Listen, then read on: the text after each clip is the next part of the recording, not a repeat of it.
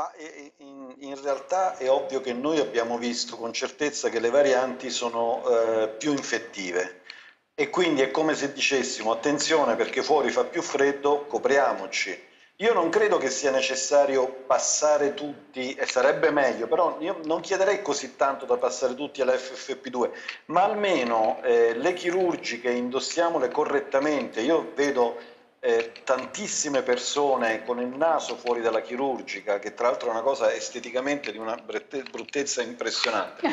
E come non indossarla? Eh, come pure eh, trasformare la mascherina in un oggetto glamour che faccia pandan con la cravatta può essere elegante, ma quello è un sistema di protezione. Allora io già inizierei a, a, a utilizzarle come si deve, perché nei fatti un dato importante è le varianti si sono affermate sul territorio non a marzo del 2020 quando eravamo tutti liberi, non nell'estate del 2020 quando c'era state liberi tutti, ma nell'inverno del 2020, gennaio 2021, quando in qualche modo noi eravamo non ovviamente in lockdown, ma c'erano le zone arancioni, le zone rosse, sì, cioè certo. ce l'hanno dimostrato che sono più cattive allora noi cerchiamo di essere più furbi e prendiamo la mascherina. Vorrei che si lanciasse la moda di andare in giro veramente con le mascherine a norma e che chi ha la mascherina alternativa sia, vista, non, sia visto non come